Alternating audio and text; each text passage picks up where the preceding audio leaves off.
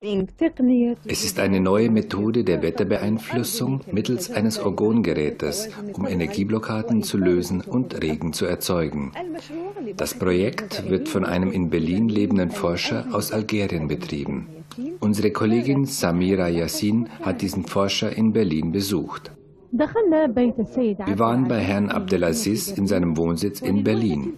Der erste Eindruck war, dass wir bei einem Künstler zu Besuch sind, beim Anblick der schönen Dekorationen. Wir haben ihn in seinem privaten Umfeld begleitet und einen begeisterten Forscher und Entwickler kennengelernt.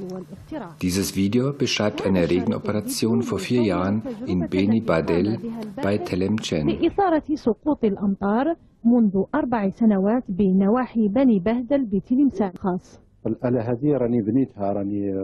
ich wollte am Anfang mit einem kleinen Gerät behutsam beginnen. Nach der ersten Operation kam es noch am selben Abend gegen 22 Uhr zu heftigen Regenfällen in Telemcen und Umgebung.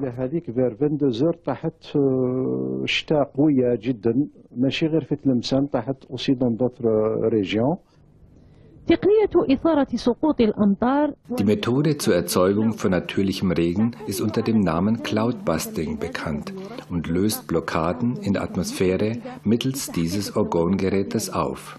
1994 haben zwei Forscher aus Amerika und Deutschland diese Methode in Eritrea, Äthiopien mit Erfolg eingesetzt.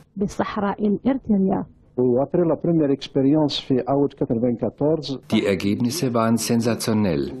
Die Operationen begannen 1994 und endeten 1997. Ganz Eritrea war grün und die Staudämme waren gefüllt. Der Regen fällt jetzt regelmäßig. Ich hoffe, diese Methode bald auch in Algerien anwenden zu können. Ein Gerät habe ich bereits gebaut und es befindet sich in Algier.